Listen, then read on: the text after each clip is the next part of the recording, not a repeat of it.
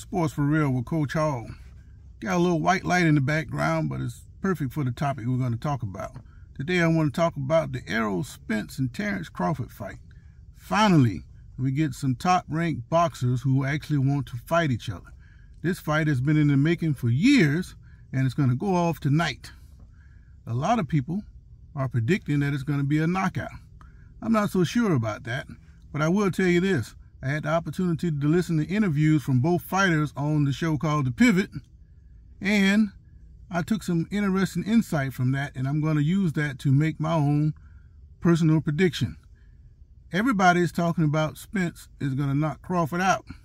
Well, Spence, he's pretty much saying that when he gets into the ring, he wants to take the will of the fighters that he goes against, and it's not going to be any different tonight.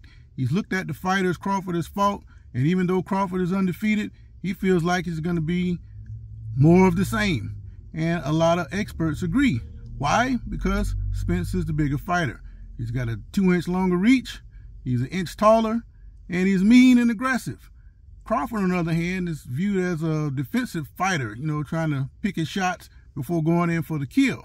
They're saying if he's going to do that tonight, it's a bad idea because that plays into Spence's hand. If he gets into an all-out brawl, that also plays into Spencer's hand. Well, I'm going to take it another step. Crawford is being disrespected.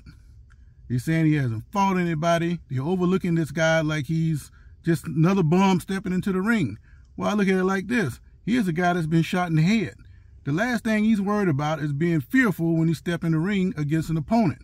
And just like years ago when Hagler took on Sugar Ray Leonard, everybody in the world was predicting Hagler to make easy work of Leonard.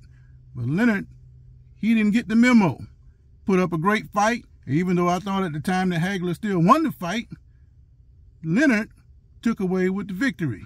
And I think the same thing is going to happen tonight. I think Crawford, he's going to come up with a game plan. And, and speaking of that, professional fighters are just like street fighters. It doesn't matter who they fight. If they're really good at fighting, automatic adjustments are made.